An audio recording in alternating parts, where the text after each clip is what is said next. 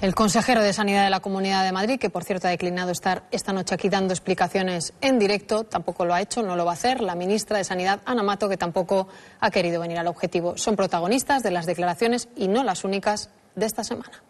España colabora activamente siguiendo todas las recomendaciones de la Organización Mundial de la Salud. No hay país que pueda rehuir el esfuerzo a una amenaza global es un esfuerzo de solidaridad exigible a cualquier, a cualquier país y España, España no va a rehuir, ni ha rehuido, ni va a rehuir su esfuerzo. Seguimos aplicando los protocolos igual que en otros países con las mismas recomendaciones que hace la Organización Mundial de la Salud. Los profesionales eh, sanitarios en la Comunidad de Madrid han ido actuando por el protocolo establecido por el Ministerio de Sanidad, que es a quien le corresponde.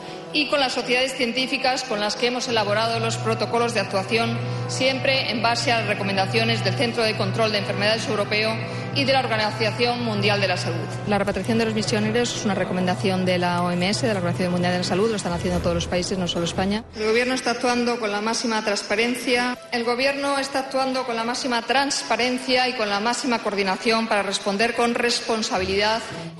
Bueno, la ministra está dando información, el Ministerio la está, la está ofreciendo como digo, la voluntad es la máxima transparencia. Y todos los días se va a dar información. Ahora algunos doctores que en todo Occidente es la primera vez que se está produciendo este tipo de acontecimientos y que esta enfermedad se trata.